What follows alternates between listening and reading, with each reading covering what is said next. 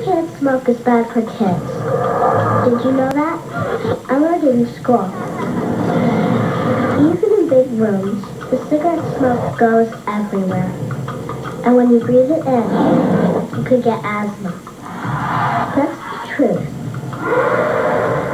It makes me really scared. Does it make you really scared?